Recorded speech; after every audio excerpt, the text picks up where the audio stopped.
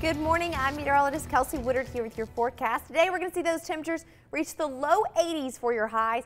We're going to see partly cloudy skies, a breezy day with your winds moving in from your south southwest 10 to 20 miles per hour.